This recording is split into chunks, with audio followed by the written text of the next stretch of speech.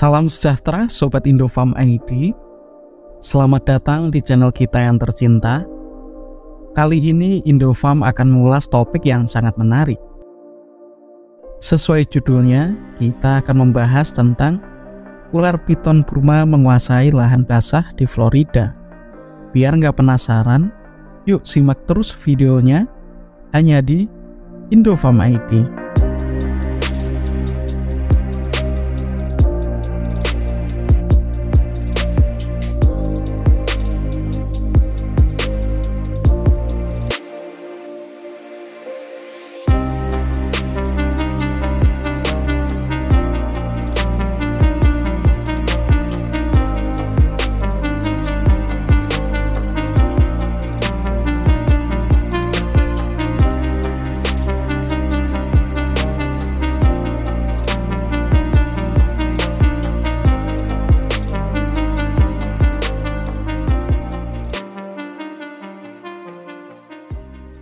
Ada yang tahu hewan apa ini? Betul sekali. Ini adalah ular piton Burma atau orang Indonesia sering menyebutnya ular sancabodo. Ular piton Burma merupakan hewan asli yang banyak bertebaran di lingkungan hutan wilayah sub-Afrika, India, Asia Tenggara, dan tak terkecuali wilayah Indonesia. Ular piton Burma ini termasuk salah satu ular terpanjang di dunia. Mereka mampu tumbuh hingga mencapai 7 meter dengan bobot mencapai 120 kilo. Ular piton ini di Indonesia diketahui populasinya terus menurun karena disebabkan oleh perburuan liar dan kerusakan ekosistem. Tapi tidak demikian yang terjadi di Amerika Serikat. Ular piton Burma dalam jumlah besar saat ini diketahui telah menjadi spesies invasif di wilayah Florida Selatan, Amerika Serikat. Bahkan, menurut sebuah artikel yang diterbitkan oleh Fox News, pada tahun 2022 diperkirakan 100.000 hingga 300.000 ekor ular sanca banyak yang bersarang dan hidup secara liar tak terkendali di wilayah rawa-rawa Taman Nasional Everglades, Florida dan menyebabkan kerusakan lingkungan yang serius terhadap ekosistem lokal. Asal-usul piton Burma di Florida, Amerika Serikat. Piton Burma merupakan ular asli yang berasal dari wilayah Asia Tenggara. Bagaimana mereka bisa berkembang biak secara masif dan tak terkendali di Amerika Serikat? Ternyata ular piton ini menjadi spesies invasif setelah dibawa ke Florida sebagai hewan peliharaan oleh para pecinta hewan eksotis. Pada tahun 1980-an, terjadi booming dan tren pemeliharaan hewan eksotis di wilayah Miami, Florida. Banyak orang-orang yang menjadi hobi dan memelihara reptil eksotis sehingga banyak mengimpor ular sanca dari wilayah Asia Tenggara. Ular-ular ini kemudian tumbuh sangat besar dan dianggap membahayakan bagi para pemiliknya. Sehingga banyak yang dilepas liarkan secara ilegal di kawasan basah rawa-rawa Florida. Diperparah dengan adanya badai besar yang pernah menerpa kawasan Florida, banyak ular piton yang kemudian melarikan diri dan lepas dari kandangnya yang longgar sehingga turut menyumbang populasi ular piton yang lepas di kawasan lahan basah rawa-rawa Florida. Diketahui juga bahwa sebagian besar ular piton yang saat ini berkeliaran di Florida adalah keturunan hewan peliharaan yang dilepas liarkan secara ilegal tersebut. Kemudian, ular-ular ini beranak pinak tak terkendali sehingga membahayakan dan menyebabkan kerusakan ekosistem asli. Selain karena tidak ada hewan predator alami, kemampuan bertahan hidup yang bagus dan ukuran piton yang besar menyebabkan ular ini dengan mudah naik ke puncak rantai makanan. Piton berhasil bersaing dengan satwa liar asli untuk mendapatkan makanan termasuk mamalia, burung, dan reptil lainnya.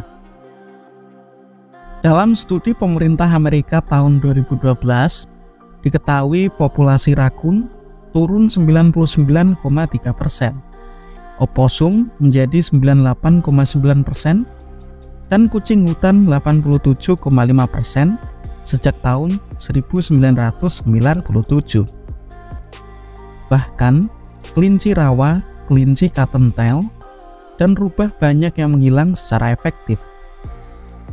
Mamalia yang mengalami penurunan paling signifikan ini banyak ditemukan berada di dalam perut piton purma yang berhasil ditangkap dari Taman Nasional Everglades. Bahkan, ular piton ini pernah diketahui memangsa seekor aligator besar setelah dibedah isi perutnya. Cara pemerintah mengatasi ledakan populasi piton. Seekor piton betina rata-rata mampu bertelur 50 hingga 100 butir per tahun. Beberapa ular besar dengan panjang 5 meter dapat dengan mudah bertelur lebih dari 100 telur per tahun. Telur-telur tersebut akan menetas setelah dierami selama 60 hingga 80 hari. Kemampuan reproduksi ular yang luar biasa dibarengi dengan kemampuan adaptasi yang bagus di lingkungan rawa subtropis diperparah dengan tidak adanya pemangsa alami, membuat ular piton Burma mampu menguasai wilayah rawa-rawa Taman Nasional Everglades. Piton Burma di Florida ini diketahui juga merupakan hewan hibrida hasil silangan dengan piton India, sehingga daya tahan mereka di lingkungan baru sangat tangguh. Piton ini bisa ditemukan sejauh utara hingga sejauh timur Teluk Bisayne sejauh tepi barat Naples, dan sejauh ujung selatan Florida. Wilayah mereka kira-kira 3,5 juta hektar, yang sebagian besar tidak dapat diakses oleh manusia. Ilmuwan hingga saat ini terus mempelajari dan menguji metode baru yang akan membuat pemberantasan lebih cepat dan lebih mudah. Sampai sekarang, pembasmian ular yang dilakukan oleh para pemburu yang dikontrak oleh negara adalah cara yang paling efektif untuk perlahan-lahan membasmi ular sanca dari rawa-rawa Everglades. Selain pemburu resmi yang digaji negara, pemerintah negara bagian Florida juga mengadakan event Python Challenge tahunan. Warga akan berlomba-lomba menangkap ular piton dan pemenang yang berhasil menangkap ular piton terbanyak dan terbesar akan mendapat hadiah. Selain itu, ada cara lain untuk membantu mengendalikan spesies piton Burma.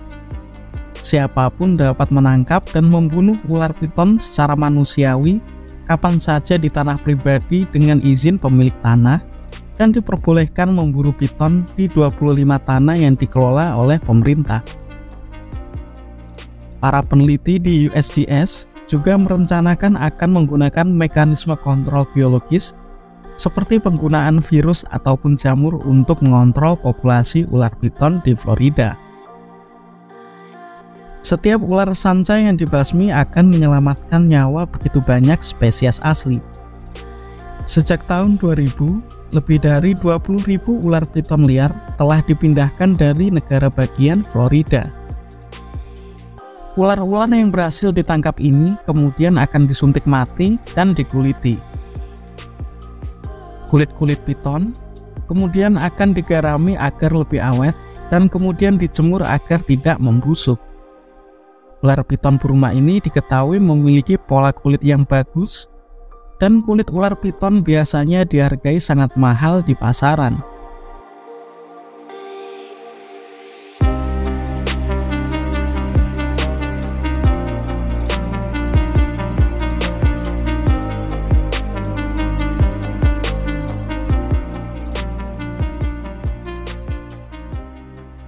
Nah, demikian sedikit ulasan tentang piton liar yang berhasil menguasai dan merusak ekosistem lokal di Amerika Serikat. Bagaimana pendapat kamu? Apakah kamu tertarik untuk ikut berburu piton liar di Amerika Serikat? Yuk tuliskan pendapat kamu di kolom komentar. Jangan lupa like dan subscribe. Semoga bermanfaat dan sampai jumpa.